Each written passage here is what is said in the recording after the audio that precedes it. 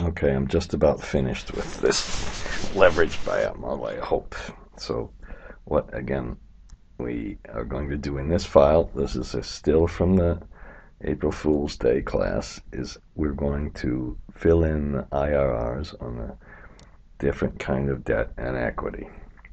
Now, we did it very quickly um, in the uh, class, and this uh, IRR is not here now.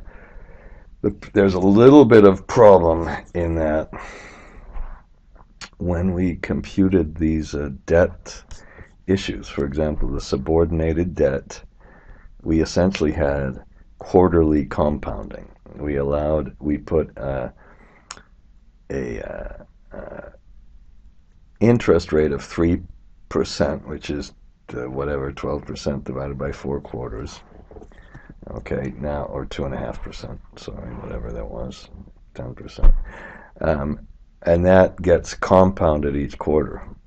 If it in reality gets compounded each year, you'd have to take that number, raise it to the fourth power. I mean, uh, one divided by fourth power, subtract one, and get a equivalent annual compounding. If it's monthly compounding, you'd have to kind of do the other, go the other way. So you know, I which it wouldn't. I don't think it would be monthly compounded, but you you got to be careful on the the compounding. Okay, so that's just an introduction.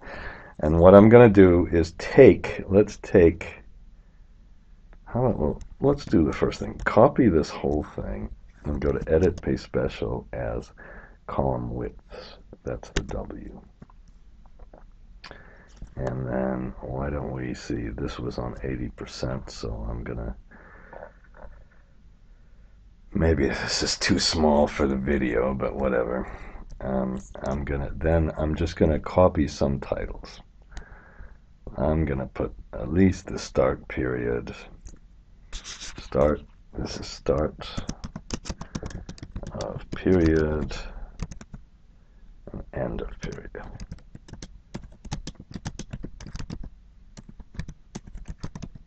So this is going to be a video a little bit more, less conceptual, not a little bit, a whole bunch. Um, why don't we just copy these ones? Okay, and we'll make a annual model. And this will just be our year. That was kind of silly to do that last thing. And then instead of copying absolutely uh,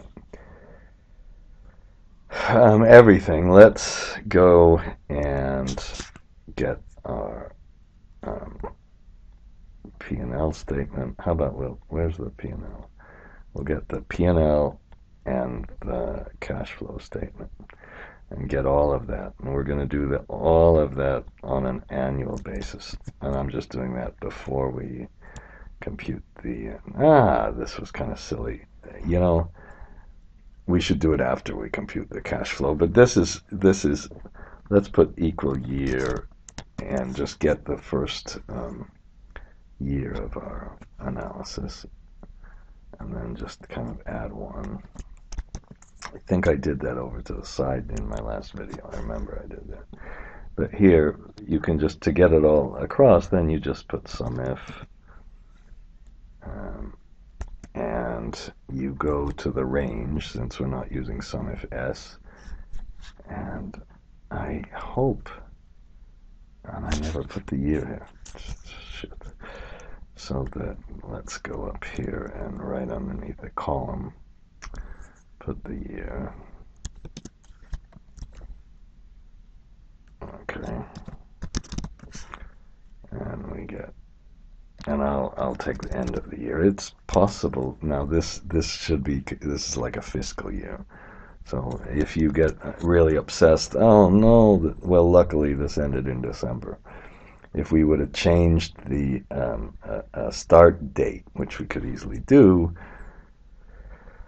um, then then you would uh, you'd have a big problem. Let's leave it at this for now. So not a big problem. Uh, uh let's put uh, SUMIF Okay, and we click on the entire year. oops, and press F4.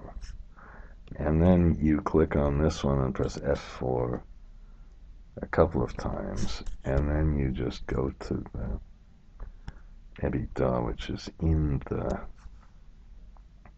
P&L. That's kind of what we started the P&L with.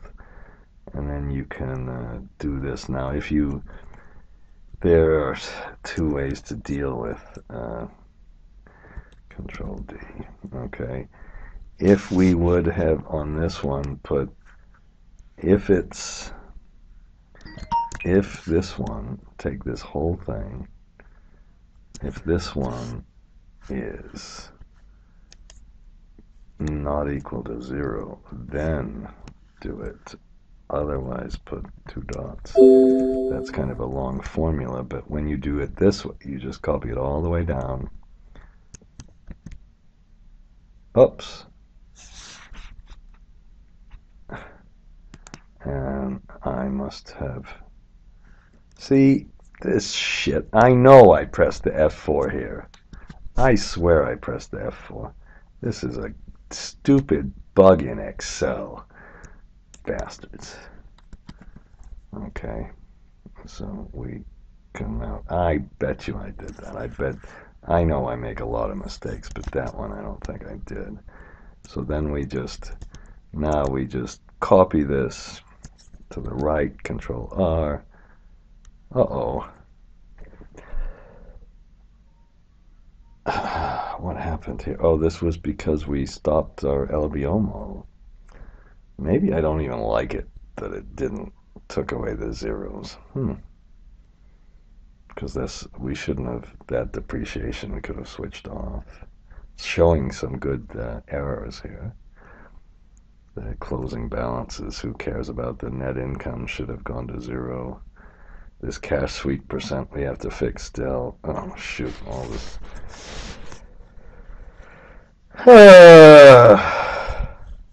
this, this stuff. Why don't I just fix the one here first? Okay. I'm not going to leave the video on for all that stuff. So in this standalone case, I think we should have multiplied that at least by the holding period. So at least that's a good one to kind of remember. And then we go to this one and we kind of just have it for a, a nice little annual layout of our um, model. I think that's good enough to show you this cash sweep percent is not a cumulative one, so that we have to adjust. But, you know, why don't I, I'm going to do this. Control minus, okay. Debt to EBITDA is not really cumulative either, so let's take that one out. We could use some if S there, and I've been through that, so I'm not going to go through that again. Okay, now let's go and uh, uh, what did I have to fix? Oh, I wanted to fix the cash sweep percentage. Okay, I'm gonna switch the. Uh, here's here's here's my problem. Okay, where's our debt? Uh, first of all, our debt. Where's the debt to EBITDA? It's up here. We got it. We did a few things wrong here. This was a disaster in the class to, when I did it. Okay, 96 debt to EBITDA. Well, this should have been the, the debt, the, the EBITDA over the last four quarters, really, okay? Not the, and then this debt to EBITDA is going way down to zero, and then when it goes down, it should do this. So, oh, here's what I'm going to do. This is kind of really horrible. That I'm going to multiply by 4. It's not, because we know it's that's completely wrong. Uh, um, uh, the, the uh, oh, great. Okay, that, uh, it's, uh, I don't have a historic four quarters here. That's why I was worried about it. Shit. Uh, and then this one, well, let's just go through this one. So if, let's pretend this was really high. What the hell? Okay. So, because we don't have any history, we're just going to put 100% cash sweep, that means. And that means that, and, and let's make this 200. Okay, so from 200 down to 5, it's 100%. From 5 to 4. Now, what I should have done here is put match. And then if we take this the from instead of the to, last time I took the to, it should be the from. Don't ask me why. And then we take this one and press F4 and then, whoops, F4 and put a minus 1. Okay, oops. Huh. That one, I just did a lookup. How stupid. Match this one against only these. No index yet. This is going to be a match and index. F4 comma minus 1. Okay, and that means, oh shoot, that means it's the top one. So it's either 1, 2, or 3. And then it gave a goddamn NA. Why did it give an NA? Oh, this if this is false. So let's put, let's multiply this by 1. So then we, I was dreading doing this damn thing, okay? And then we can put in a cash sweep percent. Well, if this is 1, then we use the index with the match. We put index.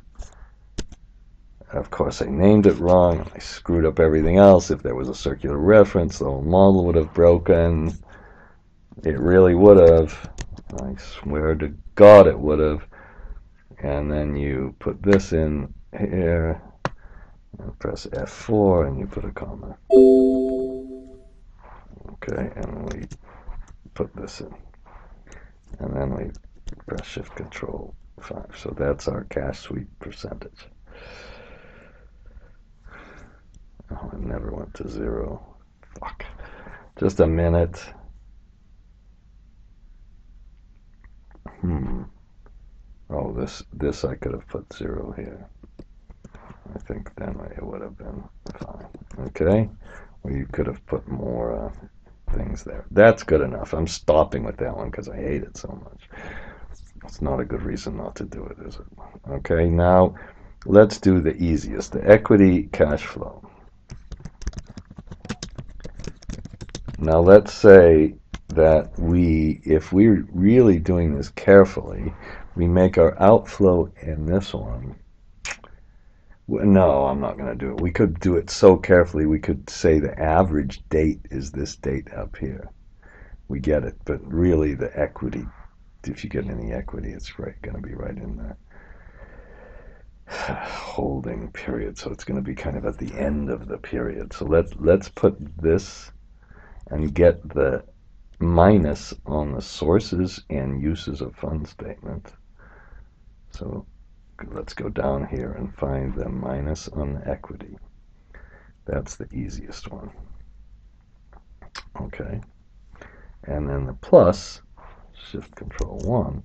The plus is just the dividends, which are the last line on the cash flow statement. Okay, Shift Control R. Now, if we uh, do that, I hope I still have the other color there.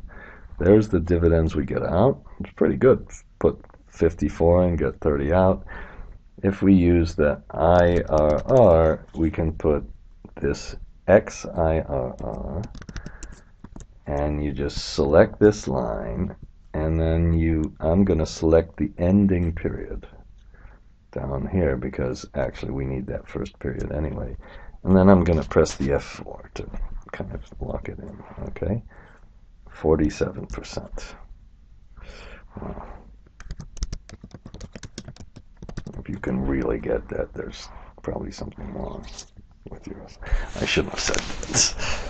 I mean, how, how the hell can you get those kind of returns? Whatever. if we do it on the uh, uh, annual case, that's why I wanted to do the annual case here, then we can put the IRRs here. And, um, well, actually, you know, I have to uh, do it here. So we can put a minus. I'm just going to do it again, I guess. A minus on the same cash flow. That's a one-time cash flow, but no minus because we already minused it. We don't want to minus a minus it. And then we get our dividends, which, oops, shouldn't have done that damn thing. Because, uh, will this work? It probably, no. Shoot. I'm going to have to uh, redo our this theory. I kind of like that thing, but let's put a zero. Uh, well, if it's zero, then it equals zero. That's pretty stupid. Oh, great. Control R, Control D. And then let's, I guess we'll just take out some of these zeros. Maybe that's okay.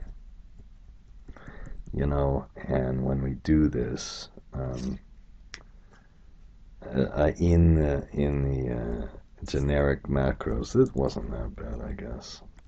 Let's press this one and shift control D. Whoops, it doesn't work with the damn thing on. Otherwise, it would work. It's my video that's on that doesn't allow it to work. Okay, that's that's a better way to do it anyway. So we have our dividends. Okay, and shift control set. Whoops. Shift Control 7. And then we can uh, copy those across and get our uh, IRR. Uh, this is our cash flow, equity,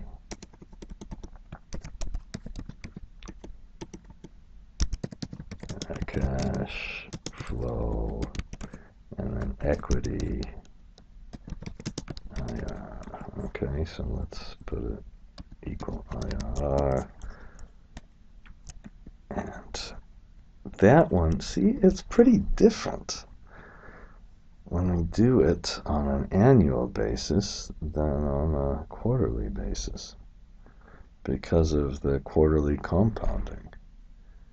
Now, it's going to be different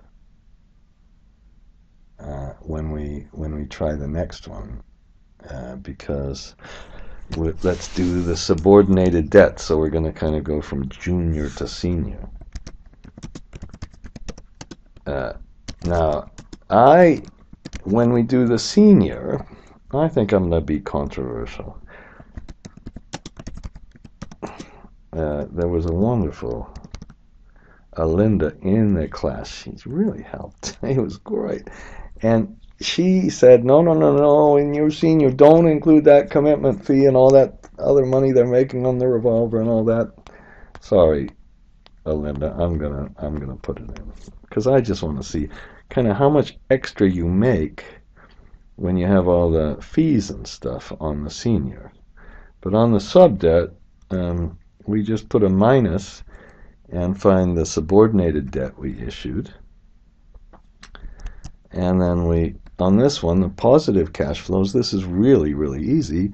Instead of being the dividends, this is that total repayment of the sub debt. And the reason it's so easy is because um, it, all the interest is capitalized. Now, you would think that the sub debt IRR, it's kind you'd think, oh, let's just check the model to make sure the model's working out, out okay. And the sub debt IRR, in theory, should be the uh, interest rate we put on it, but because of the quarterly compounding, it's not going to be exactly that. So we put equal.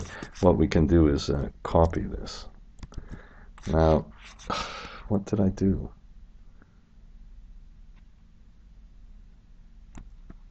Okay, hang on. Did I put a minus? Oh, well, yes. Look at that. We got to put our minuses as pluses this time.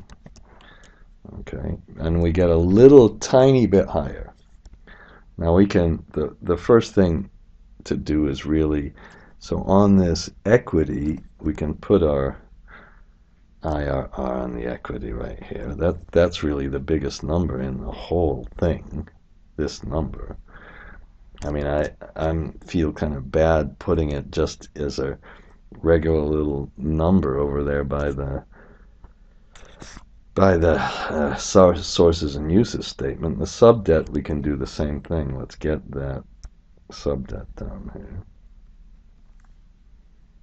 Okay, and then let's we're going to get the senior debt. Now, if I put a lower margin in, okay, whoops, I mean a higher cost in, then equities return is going down really fast. So we better be sure of the margin. If we put no synergies in, well, we got, we got all the way down. Now we can see what kind of, whoops, oh, it's very sensitive. Right there, equity's gone and negative. And then just right there is the break-even point for our subdebt. And then we keep going down and it's going negative. Now, what I should do on that one is also put the, uh, uh, we should put an if error, I guess. And when I do an if error, I wish it, it kind of would work like this. this one of the stupid things I did before, which is make your own IRR function. Very good exercise, isn't that? nothing you'd rather do in the whole world than just spend an afternoon making a Sunday afternoon making your own uh, IR function. Okay, so that what I did here was just put a false. If I made my own uh, uh, uh IRR uh, calculation, I would just put a false instead of a num there because a number just screws up everything. And then we have the seat. Now let's put the subdebt in our other one. So we can take, this time I hope I, I won't make the same mistake. We'll take our LBO moment. Oh, there's a nice little bird out there. Hmm. And then I have to put a minus on the repayment of subordinated debt. Hmm. Okay. I'm even putting our stupid little shift control. What is this? Shift control 7. Is that? I think that's what I did. Shift control R. That works. I really am going to have to revamp the. I promise to revamp the. Uh, um, uh, I promise to revamp the. Uh, whatever the shift control R. Okay. So we just use regular. Oh no! Why is it 5% now? That's telling me something's wrong. Okay. That's telling me something is wrong. I've got to pause just a minute. Okay, I somehow messed up. I had to redo this whole thing. I lost my underlines again. Frustrating that. But uh, they uh, we put in uh, the equity cash flow and we get a this amount of equity and then when we did this on an annual basis it still after all that crap it gave up it came with the same amount now when I did a regular IRR instead of the XIRR and got it on a quarterly basis and simply multiplied it by four. There's our check. Okay, so I'm not sure, you know, if we we kind of have quarterly compounding on all of the debt and it might be better just to do a simple one. Now, if I take the senior debt, that's a whole lot more, a little tougher. Now, the first thing, of course, we'll put a minus on the, the how about the, the, for the senior debt? Let's be a little more careful. Let's put outflows at start. How about inflows from fees and interest? Outflows from default inflows from repayment including repayments of default and then we put the net uh, revolving credit facility cash flows and then we can get a total cash flow and then we can get an annual IRR and uh, annual. Uh, let's just get a regular. How about I'll call it the XIRR and an annual IRR. Okay, and for the cash flows at the start, let's put a minus sources and uses just like we did before. Okay, and that's the existing uh, cash flow, and this is the senior debt. Okay, I'm done with that one, right? Senior. Got that. Okay. Now the fees, let's, and I think we put a, well, you know, yeah, we put a, a plus sign. We better make sure they're plus. But if we go up to the, I think we can get the fees from right here. Oh, shit, maybe not. No. Okay, we're going to have to get the the first uh, upfront fee from here, I think. Where's our debt fees? Okay.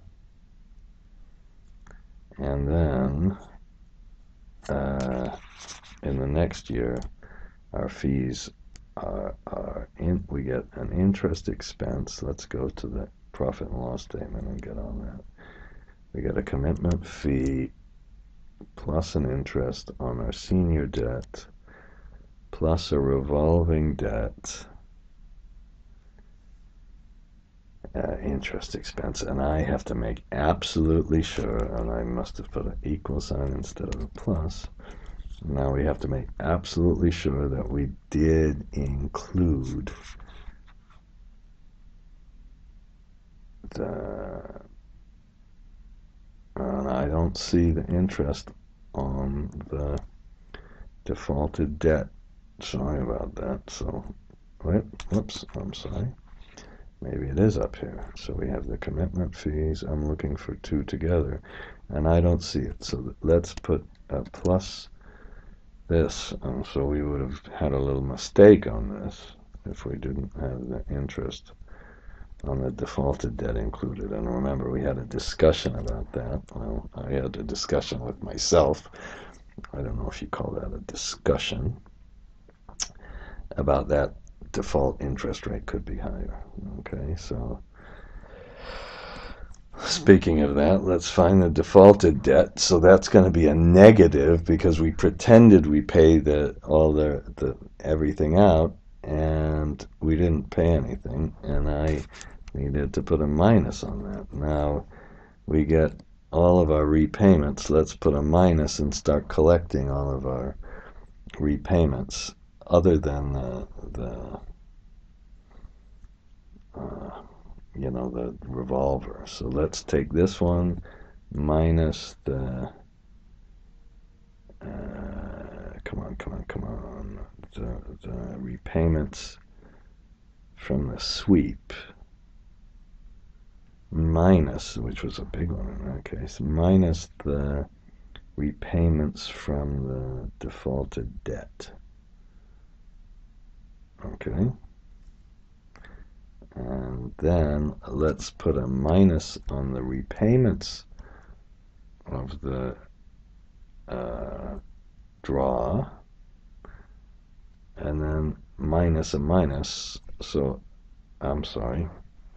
Draws are going to be a minus. Yes, so I think that's that's right.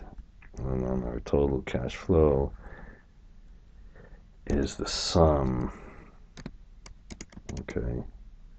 Now, if this doesn't make kind of any sense at all, if it's not higher than the interest rate in a situation we've every the, everything's been paid out, then you know you've got an error. But we can at least uh, try to get it. We better have no nothing after here, and we get a big repayment of our defaulted debt. So. I hope if I copy this uh, equity IRR, which is really big, a negative number in this case,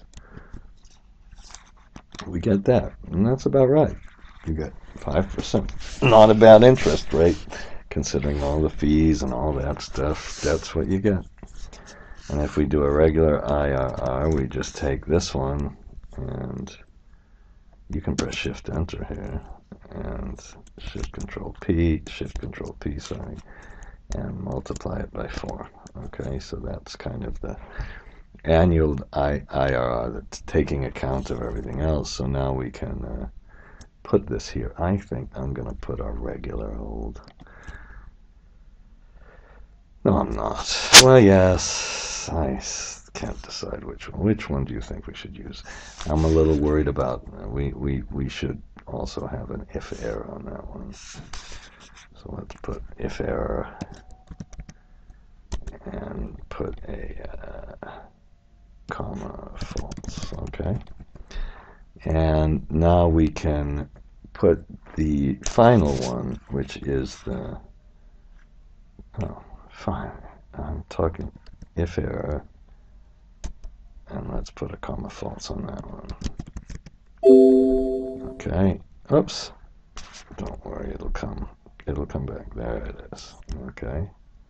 And now we're just, now we can really start to look at the break-even point for senior debt. How low can the cash flow go uh, if we push these costs up? Oh, there were faults there. And you can see, uh-oh, just just what happens to the ROIC and everything else. And this this is changing, I guess, because of the cash flow sweep and all that stuff. That's interesting. If I put it really low, really low, now that says there's something wrong, so I'm going to go and check that. I'm going to switch the uh, computer off. And when I switch the computer off, I think we should do one more thing as well. Now, we have, yeah, ooh, I hate looking at that one. Okay, this is our annual. Okay, now, uh, in, in, addition to the annual, let's, now let's have a uh, Shift F11 and let's make this a uh, quarterly and annual. I we did this in the class, I know, but it was I thought a little confusing, and it's I'm going to do it differently. I think this is a clearer way to do it, where we'd like to take these numbers up here, put take the quarterly numbers, get the annual numbers, and plop in both the quarterly and the annual numbers, and it might be a little bit trickier this time. The formula is going to be a little more messy, but it's I think it might be good keeping it on separate uh, sheets. Can you hear the background, the mosques in the background? Maybe. Okay, so I'm going to pause this and just uh, uh, work on a couple of these things. And then I think we got then we're going to make one little data table with the margins see how low the margins can go before we don't pay off all our debt. And uh, uh, and it's uh, we can do this with the IR NPV but works better with